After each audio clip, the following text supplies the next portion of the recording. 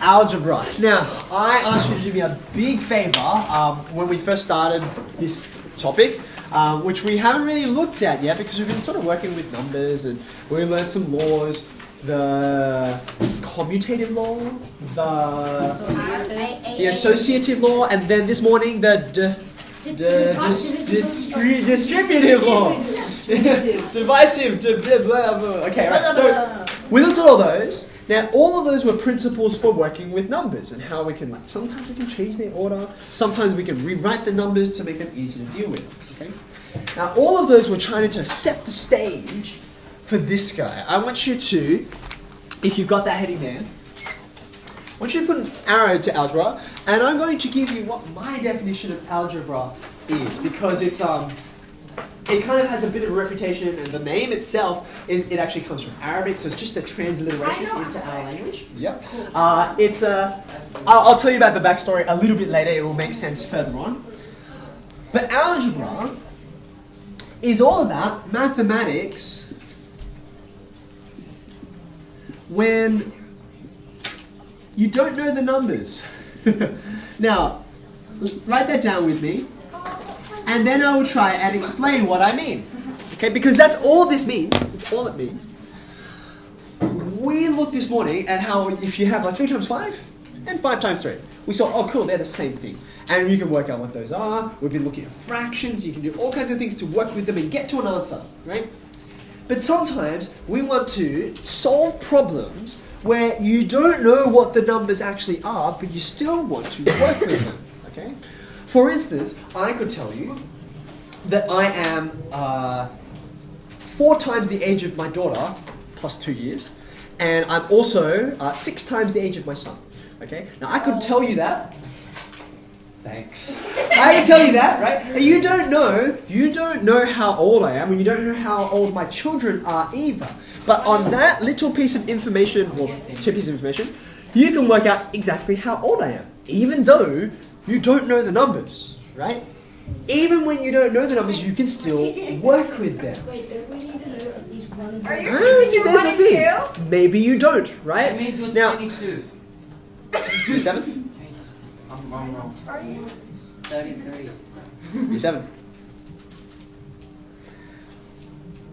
I said, firstly, if you think you have an answer, I'm not responding to it now. Are your kids in your one and two? If you think you have an answer, I'm not answering now. Firstly, firstly, firstly, algebra is this superpower of taking everything we established already. Oh, you can add or multiply in any order you like. You can group symbols, etc., in um, in particular orders, with addition, multiplication, and then you can distribute multiplication, etc. All those ideas. You can still work with them even when you don't know what the numbers are because they're still numbers, so they still follow the same rules. There's the first idea. So, algebra, you don't know the numbers. Secondly, and, okay, algebra also gives us the tools, and I'll write this down in a second. It gives us the tools to describe patterns. It's the, it's the language to describe patterns.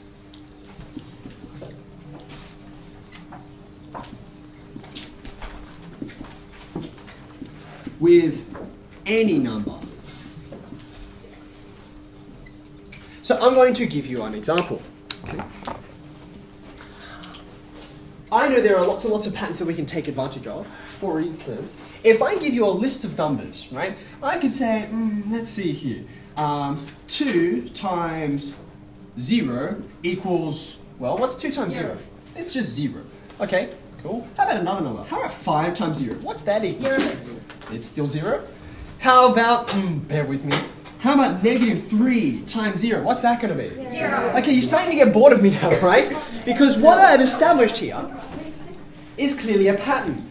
You can take any number you like and multiply by zero, and you'll still get zero. So, like, how can I describe this? How can I succinctly say zero times any number, or any number times zero, will still equal zero? So, here's a way, here's one way I could write it.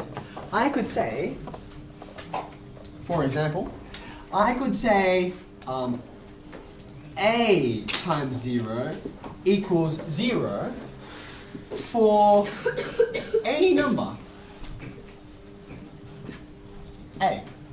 So what have I done here, right? 2, 5, negative 3, they're numbers, but this guy is like a temporary label, right? It's sort of standing in for an actual number. And you can choose any number you like to be A. A is just kind of like what I'm calling that number at the moment. So I like this word of, it's kind of like a label. Yes? You could just have a times zero equals zero. Yeah, something you've noticed is, well, sorry, wait, isn't that what I wrote? Uh, yeah, you could just have that without for any number.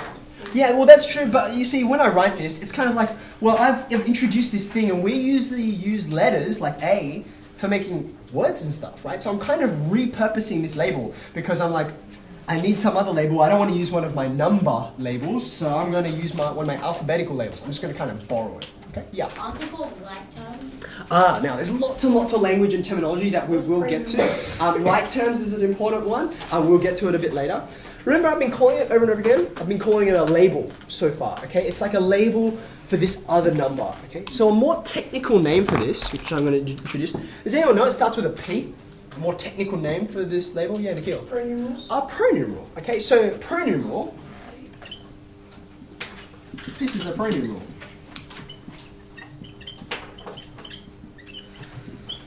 Pronumeral literally means it's not a numeral. A is not a numeral. It's a letter, but it's standing in for a numeral. It's just kind of like temporarily saying, "Hey guys, I act just like a number. I can be actually any number you like, and it'll still be true. You take any number multiplied by zero, you'll still get zero. Okay."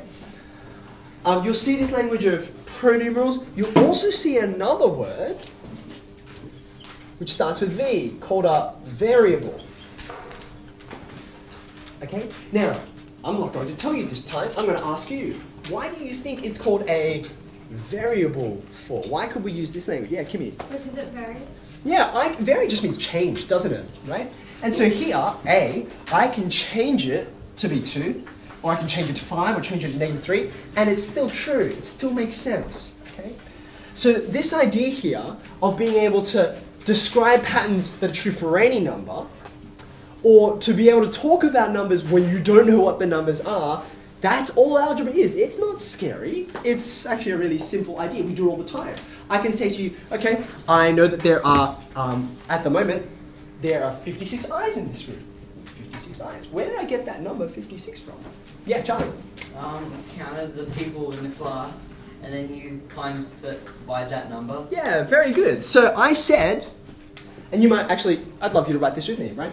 I said eyes equals uh, 2 times the number of people, right? Would that be just P? So I can actually, because as you've seen, mathematicians famously lazy, right? So we're like, oh, this takes so long to write. Why not abbreviate this with some labels, with some pronumerals, right? I could say E equals 2 times P. Oh, I should have a times sign in there. Okay, I'll talk about the abbreviations in a second. Yeah. Wait, don't you not have to write the times here? Yeah, I'll talk, I will talk about that in a second. But I just want to establish the language here, right? So again here, these two things are numbers which I don't necessarily know. I happened to count all of you as you came in, and then I added me, okay? So that's how I knew how many people were in the room. But you know what?